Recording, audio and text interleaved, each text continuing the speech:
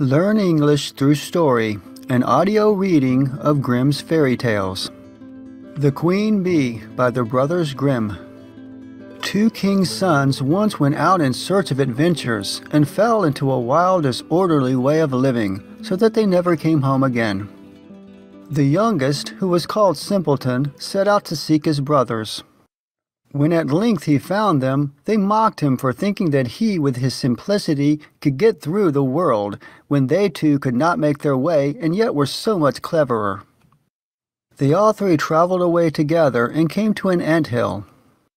The two elder wanted to destroy it, to see the little ants creeping about in their terror, carrying their eggs away, but Simpleton said, Leave the creatures in peace.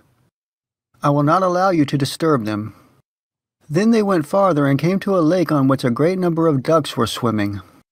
The two brothers wanted to catch a couple and roast them, but Simpleton would not permit it and said, Leave the creatures in peace. I will not suffer you to kill them. At length they came to a bee's nest, in which there was so much honey that it ran out of the trunk of the tree where it was. The two wanted to make a fire under the tree and suffocate the bees in order to take away the honey, but Simpleton again stopped them and said, Leave the creatures in peace. I will not allow you to burn them. At last, the two brothers arrived at a castle where stone horses were standing in the stables and no human being was to be seen. They went through all the halls until they came to a door in which were three locks. In the middle of the door there was a little pane through which they could see into the room. There they saw a little gray man sitting at a table. They called him once, twice, but he did not hear.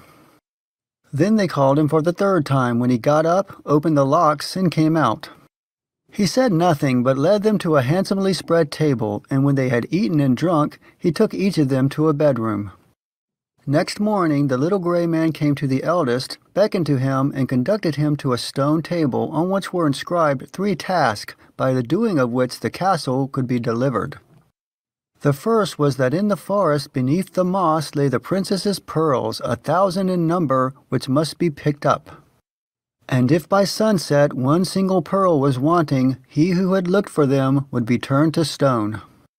The eldest went thither and sought the whole day, but when it came to an end, he had found only one hundred, and what was written on the table came to pass, he was changed into stone.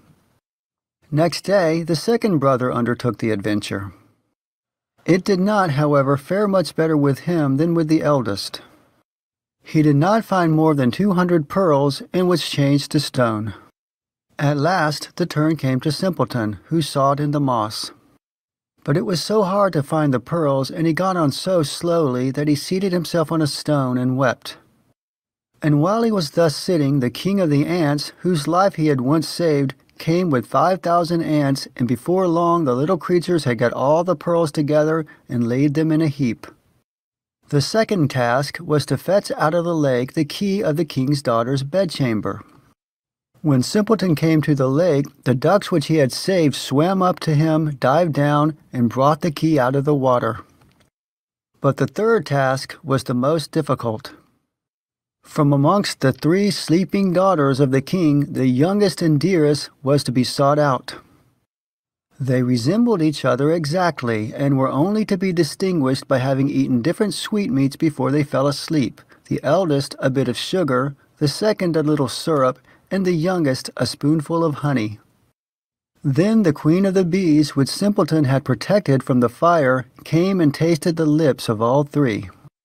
At last she remained sitting on the mouth which had eaten honey, and thus the king's son recognized the right princess.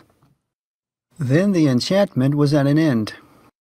Everything was released from sleep, and those who had been turned to stone received once more their natural forms. Simpleton married the youngest and sweetest princess, and after her father's death became king, while his two brothers received the two other sisters.